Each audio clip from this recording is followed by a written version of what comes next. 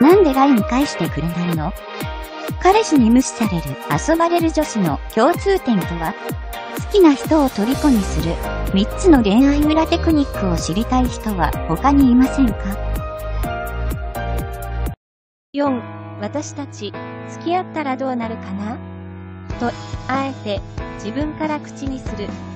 言葉にすれば意識し始めるから、30代女性というように、いい関係が長く続いている場合、2人の将来を想像させてブレイクスルーする手もあります。同時に髪型を変えるなど、あなた自身の印象を一新すれば、男性もハッとして恋愛感情を認識するかもしれません。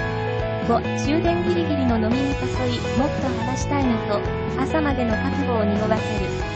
ここまで言ったらわかるでしょ。30代女性という通り、ほぼ告白に近いアグレッシブな行動だけに、推しに弱い男性にも有効です。ただし、相手の下心を刺激する面は否めません。まだ一線を越えるつもりがないなら、避けた方が無難でしょう。6、君にとって、私はどういう存在？と、ストレートに聞く。